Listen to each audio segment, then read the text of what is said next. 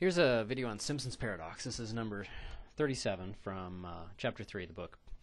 We've got two hospitals, large hospital and a small hospital in the same town, and they both perform lots of uh, surgeries, and they can be grouped into a major surgery category and a minor surgery category. And here's the numbers. For example, uh, oh yeah, and so here's the deal. The what we care about is whether um, you get uh, discharged on time after the surgery, or if the discharge is delayed due to some sort of complication. So delayed discharge is bad. It indicates some sort of complication and certainly more time in the hospital and probably more expense. So these numbers, for example, mean that the 120 over 800 means that of 800 uh, major surgeries at the large hospital, 120 of them were delayed discharge. And for example, out of 250 minor surgeries at the small hospital, 20 of them were a delayed discharge. And the question is, which hospital is better in this regard? And one way to say that is, in which hospital will you have a lower chance of delayed discharge if you go in for a surgery? Well, the small hospital claims it is better. What they say is, out of 300 total surgeries that they did, only 30 were delayed, and that's 10%.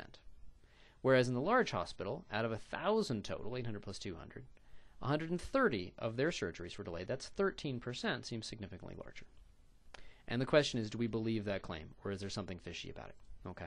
So the think is we need, I would say, a good thing to, to say would be we, we need more information. And particularly, um, we need to complete need to complete the table with all of the margins and calculate the marginal and conditional distributions. Okay. And we want to watch out for a possibly unfair average. Because what the small hospital did, we'll see in a second, it's using a marginal distribution, is really what it's quoting. That averages over a category. It does not take into account the distinction between major and minor surgeries. And that could be a possibly unfair average, which could lead to Simpson's paradox. Okay. So, here's some show stuff. Now, I've already set up part of it here's the we're going to complete the table. We put in the marginal the marginal counts, and then we'll do percentages in a minute. Okay. So as the small hospital noted, uh, if we group over the types of surgery, but we leave the hospital separate, we've got a th- 130 out of 1,000 being late for the large hospital, 30 out of 300 being late for the small hospital. We could also, it's not clear if it's going to be crucial to us, but we could also group for all the major surgeries, we could ignore whether it was a large or small hospital. There were 850 major surgeries done in town, and 130 of them were late discharge, delayed discharge. And there were 450, that's 200 plus 250, uh, minor surgeries, and 30 of them were delayed. And we might need the grand total 160 uh, delayed discharges, grand total, out of 1,300 grand total surgeries. Now we know that um, to compare, to cross compare stuff, we need percentages. Um, to say who's better, who's worse, we need to make the percentages. Okay. So here's the percentages that we get. You can go ahead and calculate those yourself if you want. But for example, 120 over 800 turns out to be 15%. 30 over 450 turns out to be 6.7%. Okay. So now we're getting to, we got a complete table, and we can start to think about um, what is the fair comparison here. So the small hospital says, look, large hospital is obviously worse, 13 bigger than 10. But if we don't group things unnecessarily, if we look, if we use the the maximum amount of information we have, which is a good principle, we look. Let's just look at the major surgery. If we condition on the major surgery variable and just say, let's look at only that as our temporary universe, then the large hospital only 15% were delayed discharge, and the small hospital was 20%. So if you're going in for a major surgery, you're better off in the large hospital. Now, what about the minor surgery? If you're going in for a minor surgery, now these are the only two numbers that we need to compare. Again, 5% versus 8%, smaller for the large hospital, fewer delayed discharge. So, if regardless of whether we're going in for a major surgery or a minor surgery, we're better off at the large hospital. So, using the finer data is going to be giving us a better answer, a more accurate answer, and is not give, making an unfair average. So why how on earth can the 13% be bigger than the 10%? Well, let's see let's see why it might be an unfair average. Okay? Let's go back to these numbers here. It's really crucial that if you just look at these four numbers, you cannot explain why these numbers would be different. You have to actually know the totals as well. Let's see what else we can say. What it, there must be something different between major and minor surgeries. It could because when we grouped them together, that was unfair and unreasonable. It was it was not a good idea. Well, let's look. Maybe major surgeries are are harder to do, are more challenging, and more likely to create delayed discharge. Because notice what it's really these two numbers that are crucial. 800 the bulk of the large hospitals business is major surgeries, 800 versus 200.